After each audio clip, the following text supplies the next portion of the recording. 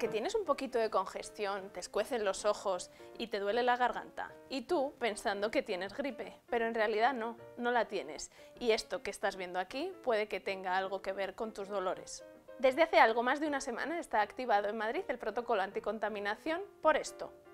Entre que no llueve y los niveles de dióxido de nitrógeno son tan altos, es imposible que se elimine esta boina de veneno que estamos respirando en Madrid.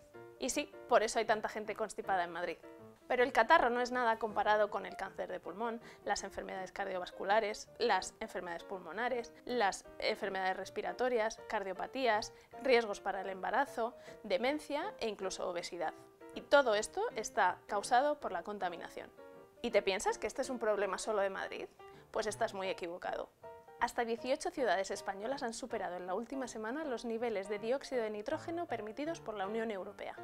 ¿Están haciendo algo para solucionarlo?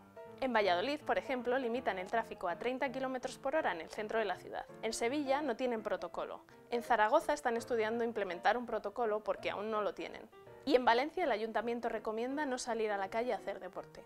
Pero no, la contaminación es solo un cuento chino. A ver, ¿dónde está la contaminación? Que yo la vea. Pues aquí, entre nosotros, la contaminación está aquí.